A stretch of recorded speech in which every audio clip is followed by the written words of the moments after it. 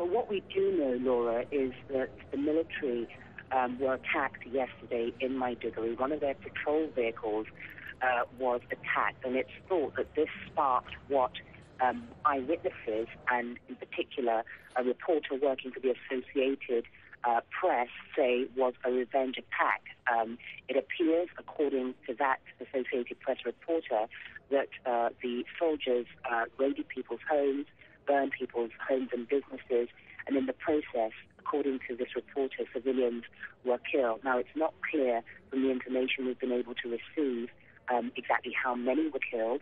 Um, what the reporter does say is that those dead appeared not to be carrying any kinds of weapons or arms. It's very difficult to verify the exact details of this story because it happened late at night. Uh, there's no video or still photography that's emerged. There's no comment whatsoever from the military on this accusation of a retaliatory attack in which civilians are said to have been killed. And I suspect that the military will deny all such allegations. Uh, well, what's the fear that incidents such as these are only going to strengthen public sentiment in favour of Boko Haram in that region? Well, there is absolutely no public favour in Boko Haram to start with.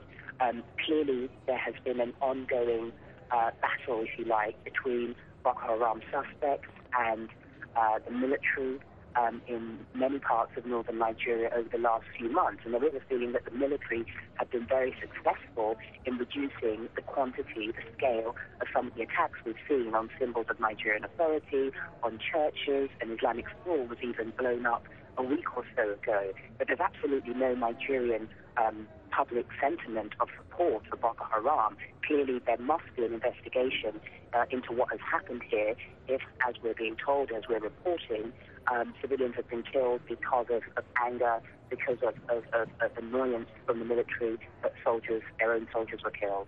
Okay, Yvonne, thanks very much for that. We'll know, of course, more as uh, day gets underway there in Nigeria.